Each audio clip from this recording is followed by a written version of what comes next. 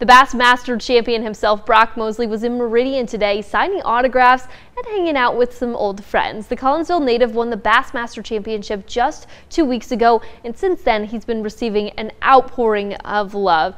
That was his first time bringing home the trophy, so it was only fitting for him to show it off at 601 Sports today. Since he has returned home, he has been greeted with lots of love and celebrations but today it was all about giving back to the community that has embraced and supported him.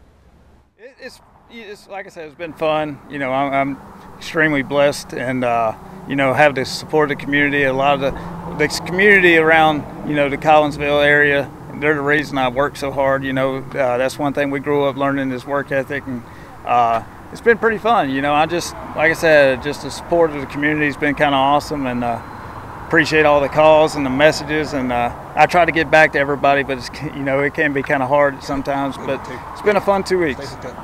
Mosley is now getting ready for his next adventure where he'll be fishing in Michigan at the end of July.